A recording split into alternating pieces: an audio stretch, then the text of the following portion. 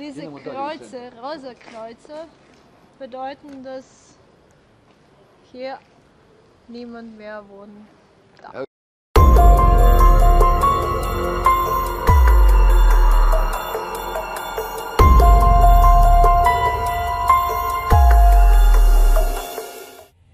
Zerstörte Häuser, dunkle Straßen, Hilferufe. Dies alles ist nach mehreren schweren Erdbeben für die Menschen im Epizentrum in Petrinja seit einiger Zeit zur Gewohnheit geworden.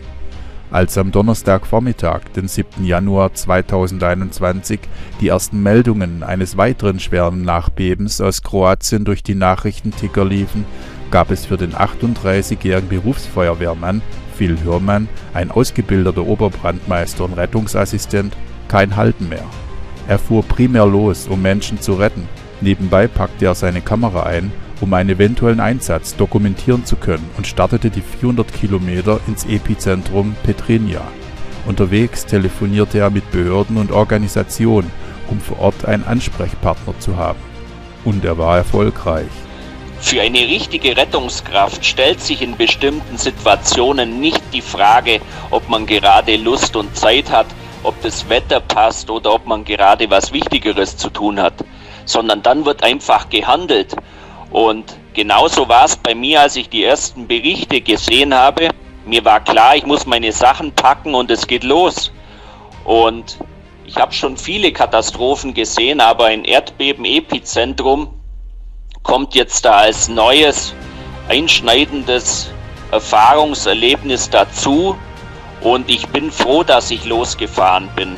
Und ich bin auch froh, dass meine Kenntnisse über die Menschenrettung dann vor Ort gar nicht mehr notwendig waren und sich jetzt andere Fachleute um die Beseitigung der materiellen Schäden kümmern und es jetzt im aktuellen Fall des Nachbebens auch glimpflich für die Personen vor Ort ausgegangen ist. Die Informationslage nach solchen Großschadensereignissen ist am Anfang immer sehr vage und man geht am besten immer zuerst mal vom Schlimmsten aus, um dann zurückrudern zu können. Und vor Ort hat es sich dann tatsächlich so herausgestellt, dass die Menschenrettung bereits abgeschlossen war. Wir sprechen jetzt in diesem Fall von einer unbestimmten Anzahl von verletzten Personen. Und im Vergleich zum ersten Beben sind nach meinem Kenntnisstand dieses Mal auch keine Toten zu beklagen. Durch das Beben am 29. Dezember 2020, welches mit einer Stärke von 6,4 auf der Richterskala gemessen wurde, ist ein zwölfjähriges Mädchen von einem eingestürzten Hausgiebel getötet worden. Trauernde haben an der Unglücksstelle eine Gedenkstätte eingerichtet. Phil Hörmann lernt vor Ort einen Kriegsveteran und einen NGO-Alpinistenverein kennen, die ihn durch das abgesperrte Gebiet begleiten.